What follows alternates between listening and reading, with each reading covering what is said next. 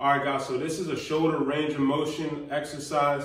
All it is, you're gonna get in a kneeling position. You're gonna tuck your hips so that you're nice and tall. You're gonna make sure your ribs aren't, aren't flared up. All right, just uh, keep the ribs down. You're gonna alternate your arms rotating, looking at your hand the entire time. Now, each rotation in each direction of your knuckles, you're gonna try to reach your fist towards that direction. So you're not just rotating, you're trying to reach your fist towards the direction your knuckles are pointing.